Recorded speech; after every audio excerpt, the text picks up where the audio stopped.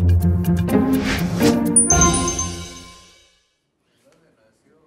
La captura de dos extorsionistas más aumentó el número de los señalados por este delito a 78, desde que la semana pasada comenzó un operativo masivo para detener en su mayoría a pandilleros dedicados a cometer este ilícito. Ocho de los detenidos acudieron esta mañana a la audiencia de primera declaración, en la que la Fiscalía imputó delitos diversos como asociación ilícita, conspiración para cometer el delito de asesinato, entre otros. Los primeros capturados en comparecer ante el juez Víctor Herrera Ríos fueron Manuel Pérez Billy Flores Pérez, Flavio López Esquit, Herbert Lemus, Denise Hernández Méndez, Jesús Amayoa, Richard Manfredo González y Jonathan Rocael. La audiencia continuará este miércoles. Con información de Claudia Palma, reportó para Prensa Libre hoy Juan Carlos Rivera.